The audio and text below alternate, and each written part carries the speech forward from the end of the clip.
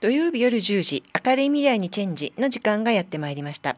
パーソナリティの FC 神岡です。明るい未来にチェンジは誰もが幸せに生きていける社会を実現させるための情報ラジオです。本日のテーマは請願書。生活上の困りごとや何かの社会問題社会的課題に気づいた時それを政治行政に働きかけることが陳情です。議員に相談することも議会へ陳情書を提出することも市町村などへ要望書を提出することも陳情です。市民からの陳情のうち一般に特に慎重に扱われるのが紹介議員が必要となる請願書です。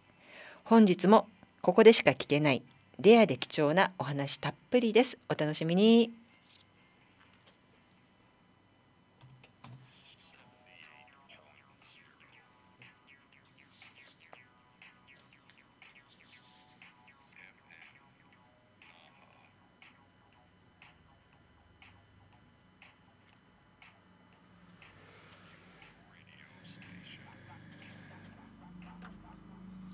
パーソナリティの FC 神岡です、え本日もトークの相方にジャズシンガー義母孝子さんに来ていただいています。義母さんこんばんは。はい、こんばんは。はいよろしくお願いします、お願いします。はいえっと本日のテーマは請願書です。はい、はい。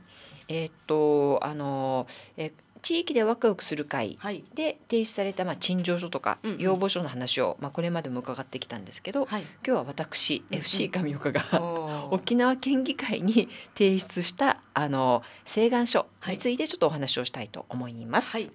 はいえっ、とですねあのもうこれ請願の書実は去年なんですよ。うんうんうん。11月に、ええうんえっ、と、えー、小長武春議員はいに紹介議員になってもらって、で、まあ、提出者として、うん。まあ、あの一般社団法人はい。化学物質過敏症うん。対策情報センター、うん。まあ、代表、まあ、上岡として、えー、と化学物質過敏症に関する、えー請願書はい。ということであの、まあ、提出しまして。はい。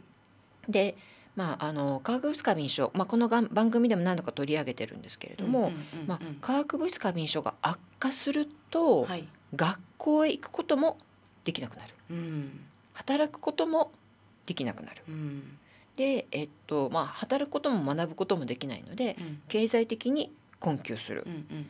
まあ、外出できないので生活が破壊される。うん。友人関係家族関係めちゃくちゃになってしまうことがある、うん。えーそれから、まああのまあ、せめて家族だけでもものすごく分かってくれて協力してくれたらいいんですけど中には家族の理解さえ得られない人もいるんですよ。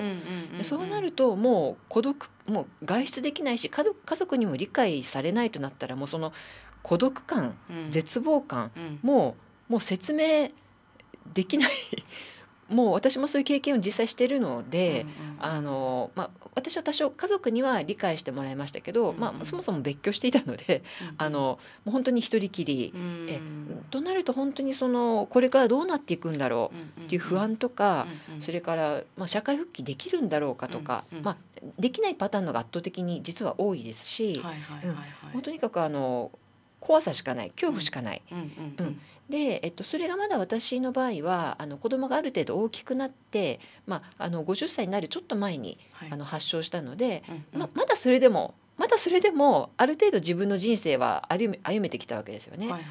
でもこれが例えばあの幼稚園で発症小学生で発症となると、それで学校行けなかったら本当に将来どうなるんだろう。んうんうん。うもう怖いしうん。それから若い子の、まあ、発症し、まあまあ、小さい子に発症した方のツイッターとか見てると、うん。もう恋は諦めましたとか、えーもうその一文見ただけでもう私活動しなきゃとかなんか思っちゃうんですよね。そうですよね、うんうん。今もうこの話を聞いただけでねおラジオで話してきたこの数々の経験談をあそう。もう思い出されて、そう、もうそうなもう涙が出てきちゃう、ね、辛いよ。辛い。辛いうん。よ、、そう。であの妊娠まああの妊娠中だったかあの出産後に発症なさった方だったか、子供と一緒に遊べない外に行けない、うん。こ子供を動物園に連れて行っても、うん。もう人混みがダメだから、うんあの子供お子さんとあのお父さんが一緒に歩いている姿を遠くから見つめている、ね うん、それからもう家に住めなくなったっていう北海道の方のお話はもう本当辛くて。え。ね うん住む家がない、うん、それであの今はもう家に入れないから車で生活している。うん。でももう北海道の本当に寒い地域の方なんですよ。でお話聞いたのが10月頃だったので、うんうん。いやこれから雪降ったらどうなるの？もうもう想像しただけでもう胸が痛くて。うんうんうんうんうん。うんでまあ、これはあの、うん。ですからその、えー日本全体の問題、うん。えあの請願書にもまあこういうことをあの簡単に今の話を書いてますし、うんうんそれから2015年に発表された疫学調査によるとうん。化学物質過敏症の有病率うんうんは成人で7.5%って言われてるんですよ。う。んうんうんうん。もちろんこの中には軽症の方もいらっしゃると思うんですけど、うん。あのこういう重症になると本当に生活破壊されていくので、でしかも恐ろしいことにほとんどの方が自覚なき患者なんですよ。例えば頭が痛くてたまらないと頭痛外来に行く。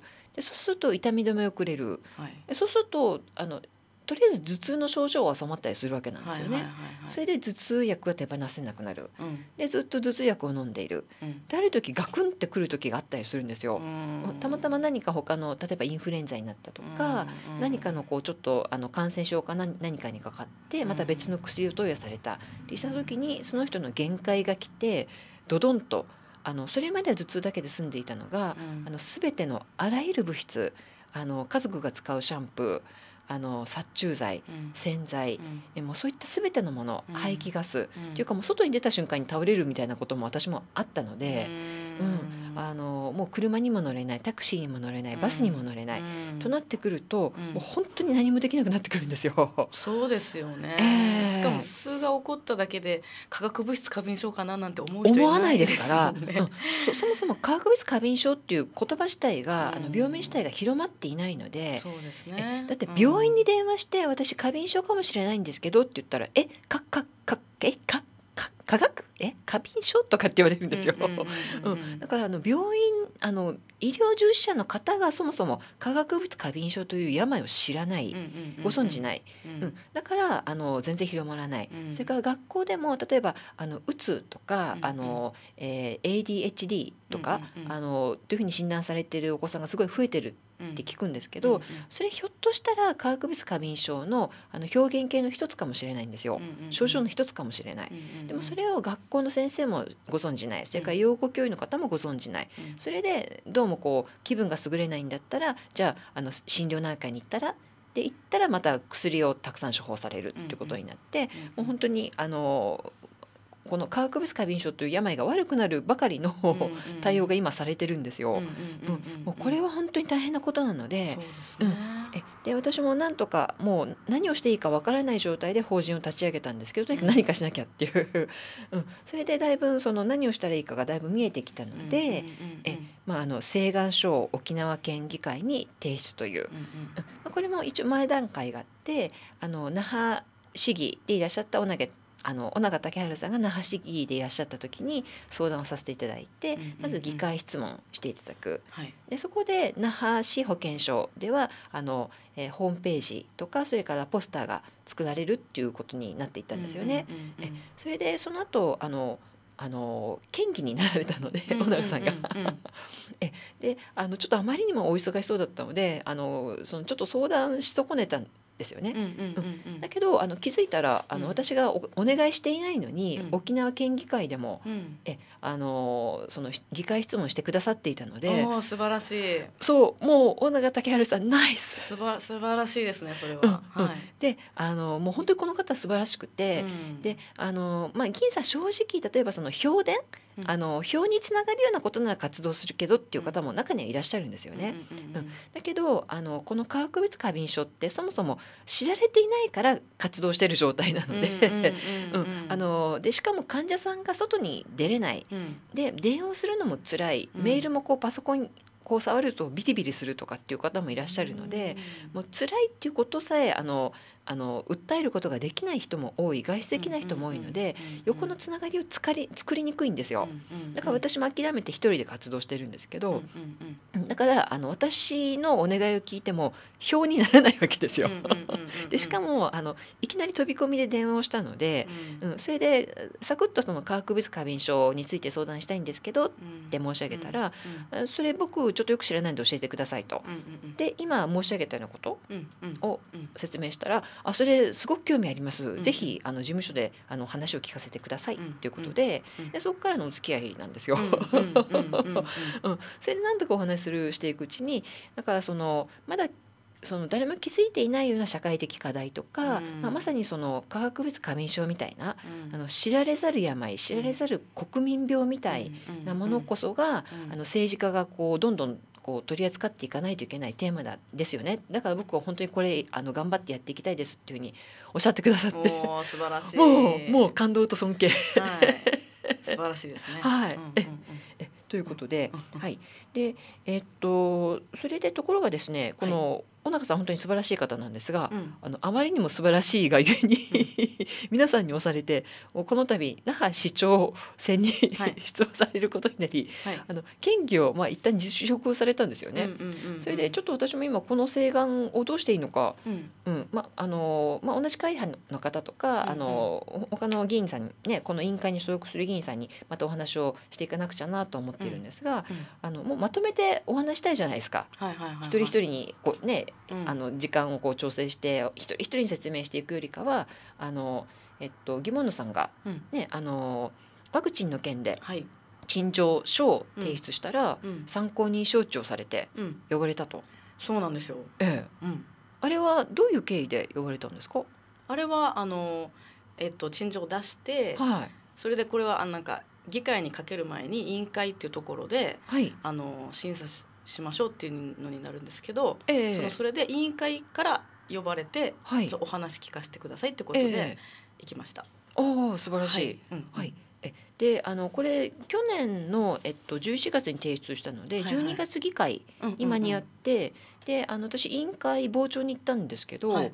うん、でもあの、まあ、傍聴に行って資料とかもあるんですけど、うんうんその一応陳あ請願書を出す時に資料も出してるんですよ一緒に。うんうんだけどそれはあの委員会の皆さん見てないみたいなんですよね。うんうんうん。資料としてそこにないので、うん、それであれあの一応用紙としてね簡単に説明してはいるけどこれだけで伝わるものなんだろうか。うんうん。ちょっと不安になりました。はいはい。だけどまあ一応そのね応援してくれてる議員さんもいるので、うん。お任せしようみたいな形で、うん。で継続審査継続審査、うん。継続審査うん。になって、うん。さてと思っていたらあの小長武治議員が辞職されたので、うん。さて、うん、あそうだ。ギボンドさんが参考人招致がどうのこうの言われていたから私も参考人招致されたい、どうやったら招致されるの、うん。と思ってうん。調べました、うん。うん、でそしたらあのちょっとまずネットで調べたんですよね、うん。そしたらあの芦屋市がトップに来てたまたま請願の出し方とか参考人招致とか、うん。うん、そしたら芦屋市では、うんあの請願書を出した人うんうん。がリクエストをすれば、うん趣旨説明。うんうんなぜこの請願書を出したのか、うん。えその理由とか背景とか、うんそういうことを説明できるらしいんですよ。うんうんうんうん。でやっぱりその、えっと、ざくっとした説明だけではなかなか伝わりにくい部分もあるので、うん。うん。だからあのそういう機会があの与えられると本当にいいなと思って、うんうん。そうですね。それであれ？沖縄県ってどうだったっけ、うん。と思ってうん。調べたら、なんかあんまそういうこと書いてないんですよね。うんうんうんそれで早速電話をしてお聞きしたら、うん。えっと、その委員会のメンバうんうんーがこの問題を審議しているあの文教構成委員会ってあるんですけど、うんうんうん。あのそこの皆さんがあの話を聞かせてっていうふうに、うん。あのおっしゃってくれない限り、うんうんうん。お話できないそうなんですよ。うん。だから私もそれ今知ってええ。そのまあた思い返せばそういうことなのかって思ったんですけど、ええ。その私たちが陳情を出した時に、はい。委員会に呼ばれてええ。参考人としてお話できたっていうのはすごくラッキーなことええ。だったんだなと思って、ええ。思い返すとその他の市町村も同じようにこのワクチンに関してうん。大丈夫ですかっていう陳情を出してたんですけど、ええ。委員会に呼ばれるっていうことはななかったらしくてええ。だから愛茶団長いいなって言われたのを思い出したんですね。ええ。ってことは話したもうちょっとねこの,、ええ。この切実さを話したくても委員会に呼ばれなかったらできないっていうのはそうそうそうそうそう。すごくこれは上岡さんの言う通りそう。やばいことではないかとそう。思ってでおります。はい。ねえ。うんうんうん。でしかもまああのごめんなさい陳情本当に山ほどあるんですよ。はいはいはいはいでそれいちいちあのさ参考に承知してたらちょっとあのもう時間がいくらあっても足りないっていう感じにはなると思うんですね。だけど請願ってやはり紹介議員が必要なので数がものすごく少ないんですよ。そうそこがね違いますよねまた陳情とは。そうそう陳情が何百もあるのに請願数えるほどしかないんですよ。うんうんうんうんうん。でだからあのしかもあのえっとこれあの請願書の用紙にも書いたんですけど、まあ、さっきみたいに学校にも行けない働くこともできないくなる。で2015年に発表された疫学調査によるとうんうん化学物質過敏症の有病率は成人の7.5%に上りという一文をちゃんと加えてるんですよね。普通ここであれと思いません？思いますよねうん。思いますよねうん。まああのごめんなさい。正直ワクチンはかもしれないじゃないですか。というあの危険性があるかもしれない。あのその陳情書を出した時点では。うんでももうこの問題はすでに発症者が成人の7.5%に上るという医学者による調査結果が出ている。そうですようんねだからこれもうキンキンにあの早急にもう1秒でも争って1分1秒争って対応しないといけない問題だと思うんですよ。そうですねと思わない政治家や行政マンいたらこれやばいと思いません？やめてもう政治家やめて って言いたいですよ。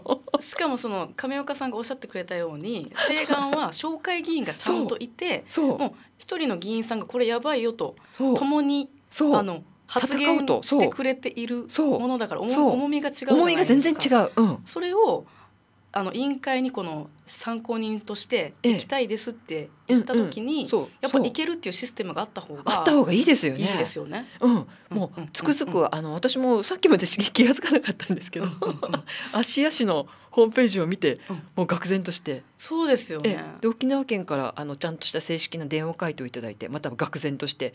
うん。えそうこのかこの世の中を挙げての大問題について説明さえもさせていただけないの、うんうん。請願書なのにみたいな。うんうん。そうですよね。でも第一にやっぱりその議員さんたちがうん。あのやばいと思ってそうまずあの承知してほしいし。そうそうなんですよ そ。の知ってくれなかった時にこっちからもアクセスできるようにしてほしいそう本当にね。うん、で、えっと、一応その請願書を出す時にね、うんあの先ほども申し上げたんですけどあの資料をつけたんですよ。うんうんうんだけどそれみみあのつついてないしうん委員会では。うん、そうそうそしたらこここの簡単な用紙説明じゃなんかこうね漢字の羅列でなんかさらっとこの7.5%みんな飛ばし読みしちゃってうん気づいてない、あれ？みたいな。うん。ですよね。うん。だって成人の7.5%の有病率なのに、うん。なのにあ皆さん化学物過敏症についてご存知ですか？え名前も聞いたことないよ病名も。それやばくないですか？知らないことがやばくないですか？そうですよね。で一応でも文面でもね学校に行けなくなるとか仕事ができなくなるとか精神的苦痛そう。経済的そう。困困窮窮って、うん。まあ、ね、そこまで言ってるのに、書いてあってうんうん、それでもあの紹介議員でいらっしゃった、になってくれたお小中さん以外聞いてくれないわけですよ。やって お願いしうんます。これこれ全員がびっくりしてどういうことどういうことってどんどん質問来るのかなと思ったらみんなさらっとして何にも興味ないって感じの顔にしか見えないんですよね。うん。質問してくれないから。しかも私みたいにあの化学物質過敏症じゃないうん。普通の人はいからしたらえこういう今亀岡さんとこう長年ラジオをして このたくさんの事例を聞いて本当にもうかわいそうでうんなんかこのた大変さを知ってるからねうん。もっとあのひ広めてほしいってなるけどそうやっぱこの文面でなる聞くのと、ええ。この直接会って聞くのやっぱ違うから違いますよね。いそう。ね直接話してほしいしてほしい。ね 承知して。ほしいです。お願い。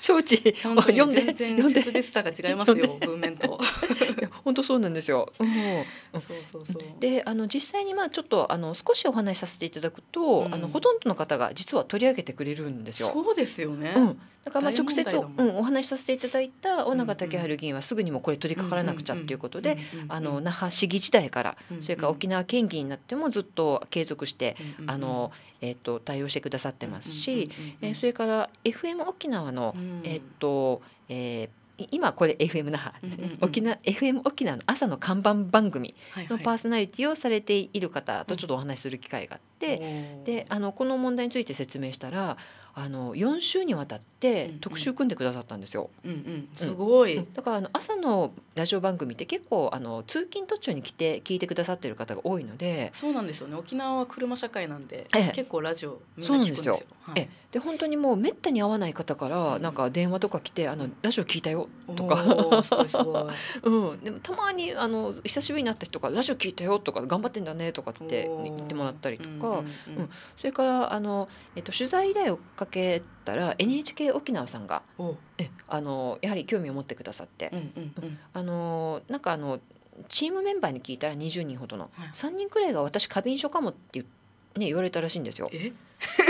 NHK 沖縄のチームの。え？それで、えっと、えそそんな大変な問題なの？っていうことで、うん、それであの、えっとうん、あの私メインの特集を10分ぐらいあの夕方のニュース番組で、へえー。組んでくださってそれから沖縄タイムさんは私の活動についてあの、うんうん。えっと、結構なあの、ねえっと、スペースを取って、あの紹介してくださって、えそれからあの、まあ、これここまではローカルなんですけど、うんうん。えアベマプライム TV、はい。え平石さんが、はい。あの司会をなさっている。はい。えそれにあの、えっと、柏木由紀ちゃんとか剣道小林さんとはい。共演させていただいて、見ました見はいました、画面共演だけど。かっこよかったです 上岡さん。あいい いやでもね本当にあのあの全国区の番組で、ねまあ、あの剣道小林さんなんかがね、うんうんうん。あの柔軟剤で苦しんでる人がいいるなんて知らなかったって言って、うんうん。本当に辛そうな顔をねうんであの答えてくださったんですよ。うんうんうん。もう剣道小林さんラブ、いいですよね。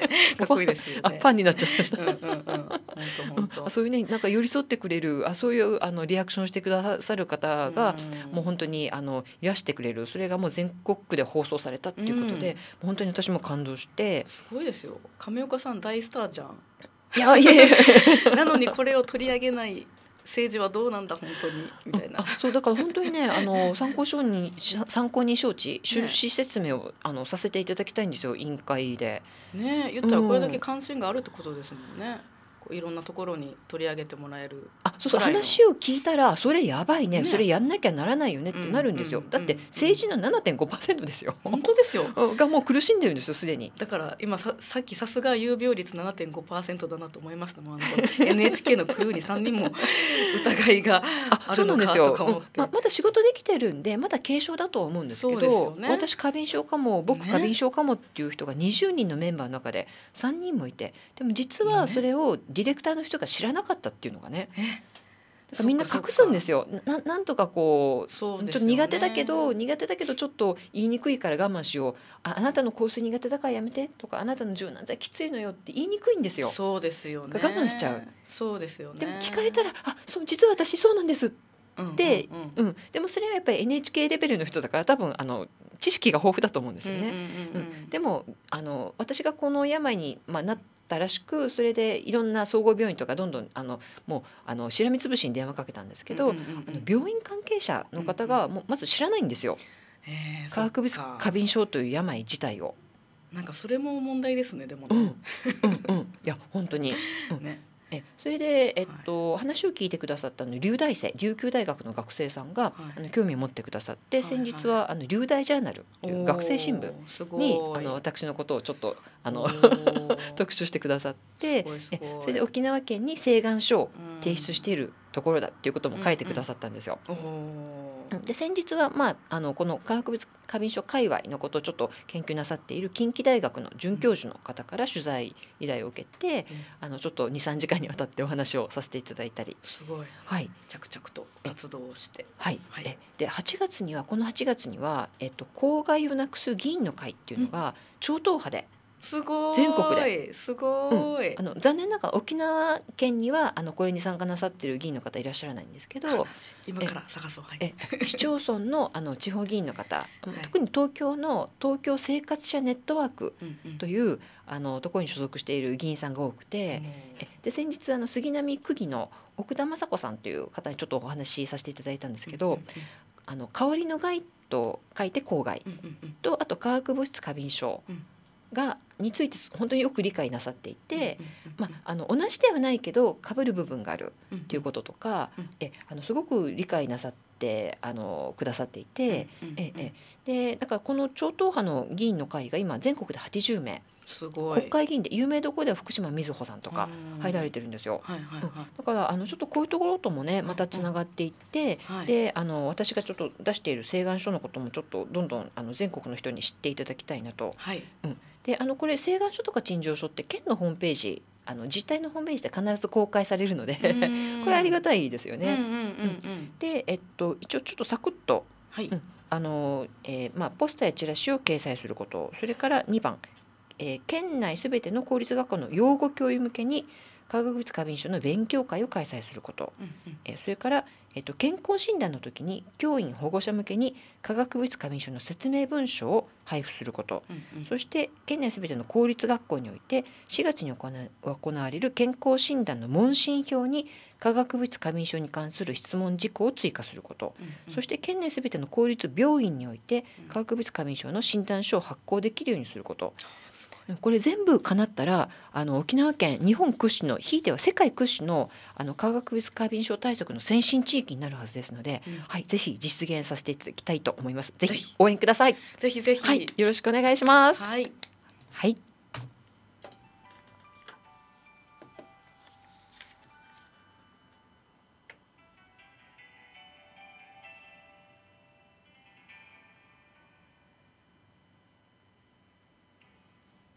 パーソナリティの FC 上岡です。